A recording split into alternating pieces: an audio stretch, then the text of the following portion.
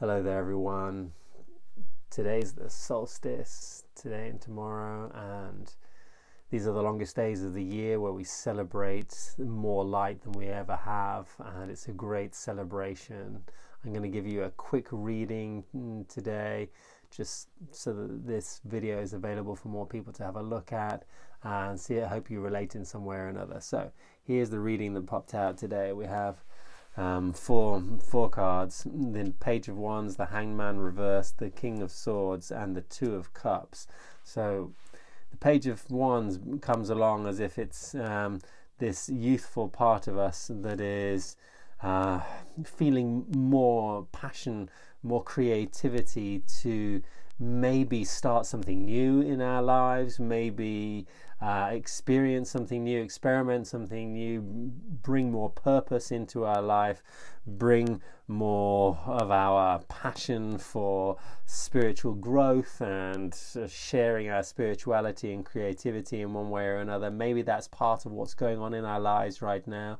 If it is, there is a natural stage of germination where the seed needs to take time underneath the ground before you actually see any proof that um, this perfect purpose is, is ready to manifest and the hangman represents a little bit of patience if you have issues with patience if you want something to manifest right now if your passion and fire wants to light light a flame and wants to burn through life and your creativity wants things to grow right here right now yeah, everything is growing. It's growing really fast right now in in in this world in our lives because this is the longest day.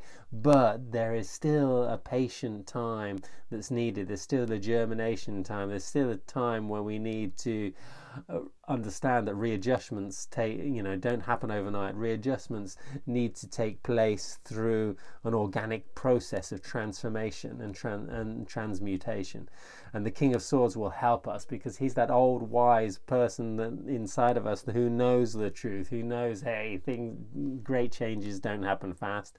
He knows that we have to be a little bit patient. He knows that it's not all about right now right here.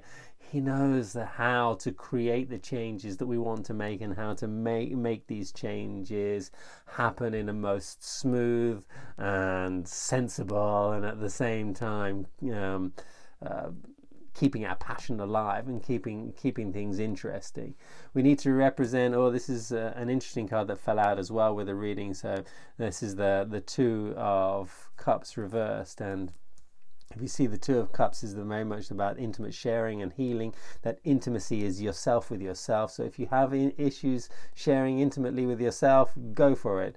And this doesn't mean the obvious. What this means is you intimately getting in contact with your feelings and your emotions and really going inside and really feeling what um, what's going on on an emotional level inside of yourself if you are feeling like you're really open and want to jump into more intimate relationships with other people, then remember those intimate relationships are excuses for having the mirror, the healing mirror in front of your face so that you can see more of who you are, so that you can heal more of who you are, so that you can have this psychic x ray of another person in front of you who's going to come turn around and go, Yes, look, I can see into your psyche, and this is what you need to heal. And uh, when we invite people into our life, there will be all sorts of triggers, there will be all sorts of other interesting growth potential that's available for us.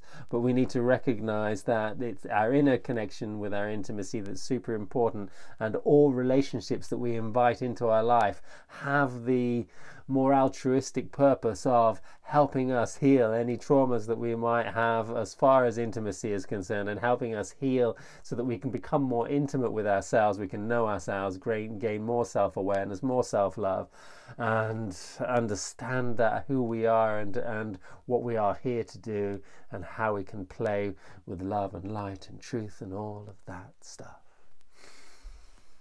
I hope this has been an interesting message. Have a fantastic day.